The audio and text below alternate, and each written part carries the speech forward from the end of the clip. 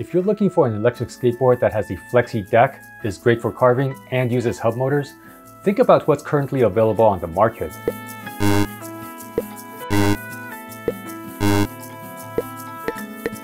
Yeah!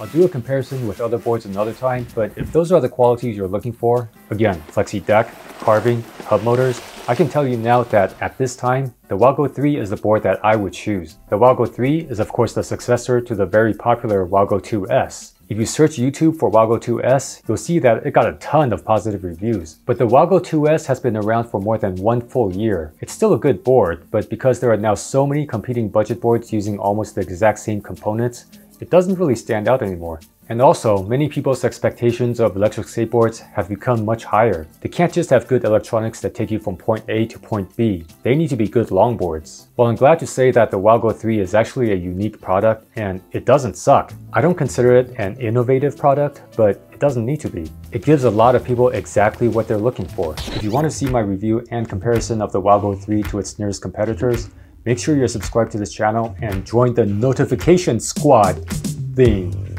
Grow Fist. Like the WowGo 2S, the WowGo 3 uses Zealous bearings in the front wheels. The deck is still shaped like a loaded Vanguard, the motors have some minor cosmetic changes but are otherwise mostly the same as before. But pretty much everything else has been upgraded. The deck is now 83% bamboo and 17% fiberglass, making it stronger and more bouncy than before. This is great if you like flexi decks. You might have noticed that this deck has no handle, but it's actually going to be optional. If you want a handle, just make a note to WowGo when you're ordering, and then you can mall grab like a pro. The front truck is now an authentic 50 degree Paris V2.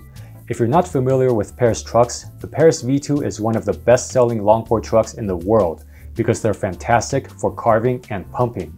The rear truck is not Paris, but you can see that the design is similar. The bushings are all stock Paris 98 bushings, and notice that they're all barrels. This helps the board be more stable at higher speeds. The front wheels are custom made for WowGo. They're 90 by 62 millimeters, 78A durometer. They have offset cores and square lips and look very much like bigger versions of wheels on the boosted board. The new remote has an LED display, very similar to the one on Exway and Backfire's remotes. It has battery indicators for the board and the remote, a speedometer, a trip meter, an odometer, etc. The WowGo 2S has three speed modes and the WowGo 3 has a fourth speed mode. It's 2019, so of course they're calling it Turbo. But it's different from Backfires and Exway's turbo modes. There's no extra button, there's no 30 second limit, you don't have to enable it, it's just the fourth speed mode. And in my opinion, that's probably the best implementation of turbo.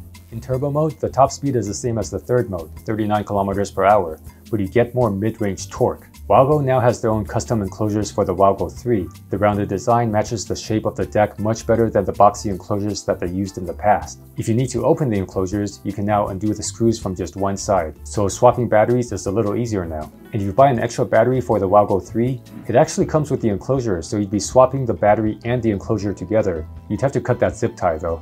The reason that the battery and enclosure need to be changed together is that WowGo has taken extra steps to make the board more water resistant, and part of that involves gluing the battery to the enclosure. So far, I've only encountered two minor issues. Remember, this is a prototype that has not gone into mass production yet. First, the pivot on the rear hanger is either a little bit too short or the hole is too deep. The result is that the kingpin is not centered unless I pull the hanger up a little bit. Once I do that, the bushings go in just fine. I didn't actually feel any problem with the rear truck though while I was riding, so this might not be a big deal. The second issue that I encountered is that the hub motor sleeve started making a slight fapping sound. WowGo told me that the reason is that there is actually a tiny gap between the motor and the sleeve. But as far as I could tell, neither of those issues affected the ride, so I guess I'm just nitpicking. But in any case, this is a prototype and WowGo said that they'll take care of those issues. Again, this is not a proper review, I'm mainly just introducing the board right now. I'll do an actual review after I ride it some more, and if this video gets 11 likes. But so far, I actually like this board a lot. Yes, wow, go. It said flapping, right? not fat. Ta ta ta ta ta ta ta.